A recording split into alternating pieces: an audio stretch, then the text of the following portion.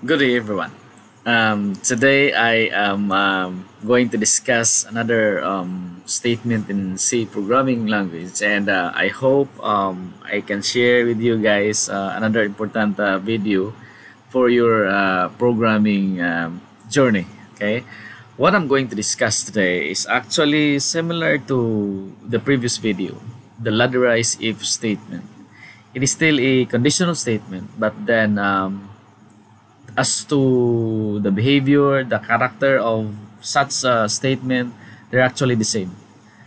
Uh, but um, technically, they're they're they're different. Right? There there's a slight variation. Okay, and uh, as much as I want you to to have the skills, um, uh, you know, in programming, uh, number one consideration is uh, the more flexible you are, the better. Okay the more statements available in your pocket then that's that's the, the better uh, position okay? So we have this ladderized if statement. We can use that technique in programming. And uh, here I am again. I, I, I am sharing to you another another um, conditional statement that will eventually uh, uh, gives you enough room for some uh, uh, decisions to, to, to make as to what particular uh, statement you're going to, to, to use okay? So um, I would like to share my uh, I would like to share my screen. Actually I have here a notes I will be discussing to you the switch statement in C okay? The switch statement it is still uh, a conditional statement. It will check a certain expression and, and if this expression is true, perform this particular line subtraction. If false, uh, bypass, jump, and look for another conditions. If true, perform. If not, bypass and jump.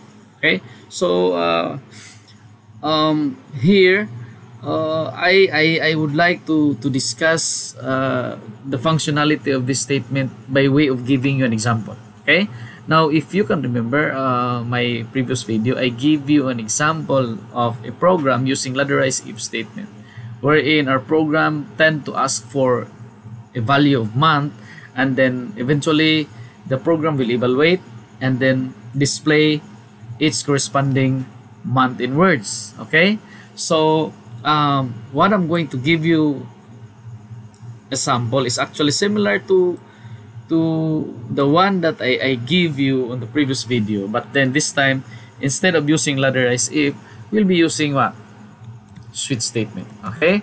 So here um, we'll try to encode and I would like to challenge you guys while while watching this video um, do the same okay?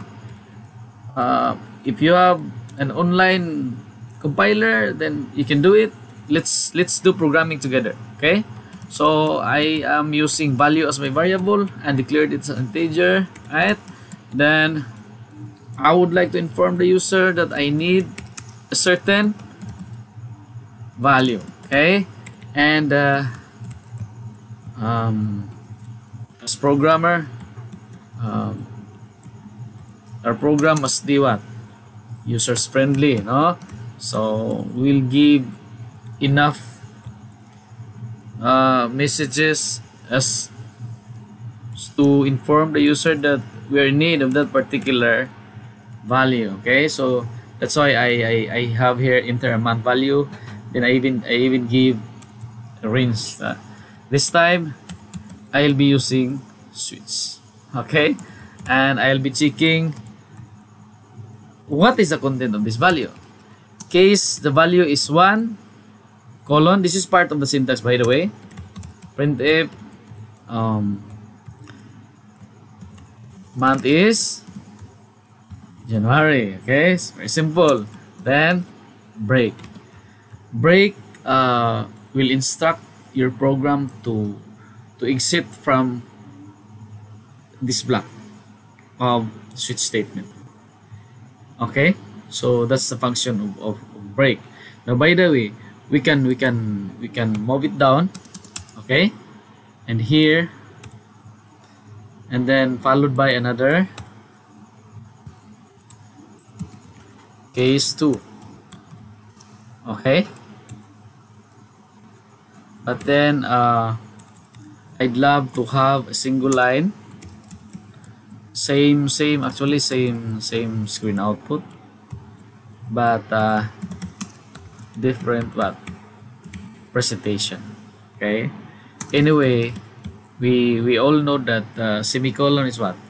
It's the demarcation line between statements. So once uh, your compiler uh, encounter semicolon uh, the next line or command is another statement right? That's that's actually the interpretation of your compiler. Now I'm just trying to to copy the the line here and uh, do some some editing right? Uh, just to you know to make this uh, video shorter okay? So here control control V March April right? And here was before are you following? So please do the same huh? because programming is what? It's a skill no? So the more you're exposed to programming then the better. In here I'll, I just you know copy and paste the line and change the the name of the month and the number of the condition. June. Okay. Here paste and then 7 right? And here instead of February it must be July break. Here okay it must be 8 and here it must be what? August. Oh yeah August.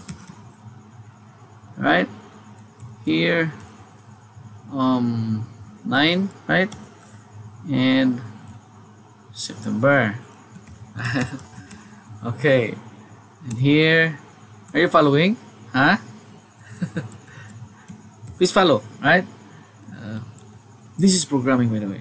Right? October. Okay. We're almost done.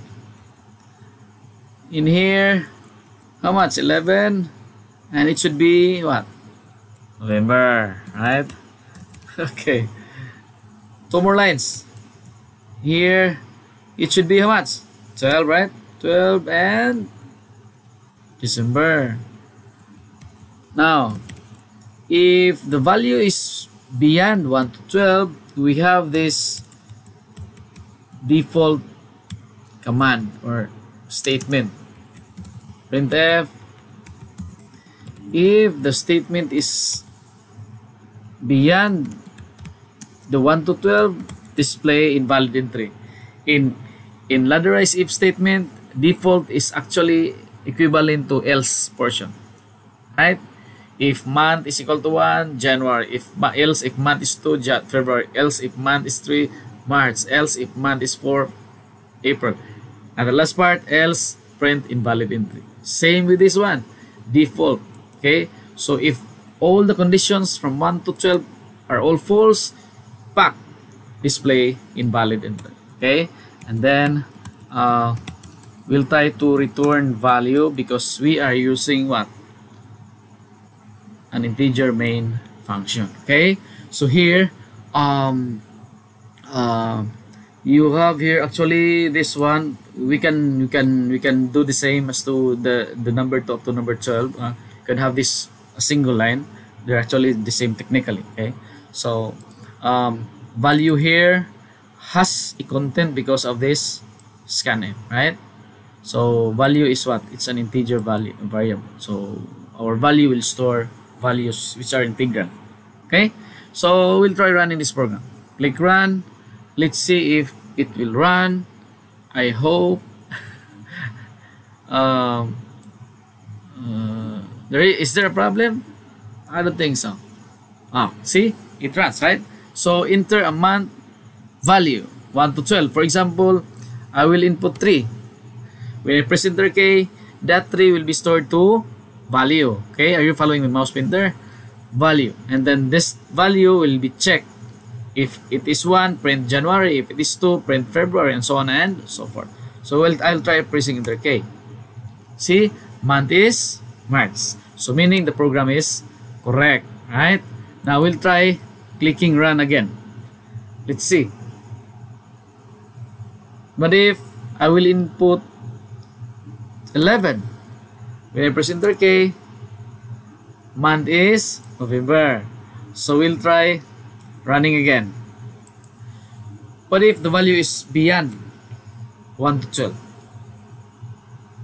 Let's say 56. When we press enter key, the result is what? The result is invalid. So that is how we use switch statement. A very simple statement and a very nice technique in programming. I, I hope today I, I shared something something useful in your programming journey. My dream is for you to enjoy programming.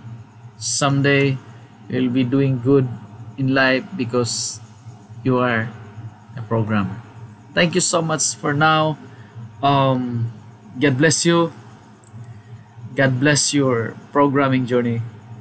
Thank you for watching this video. I hope you will still watch the next videos of mine. I'll be discussing another statement in C programming language. God bless us.